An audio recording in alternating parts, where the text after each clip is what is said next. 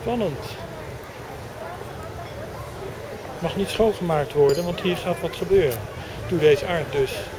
Dit weekend.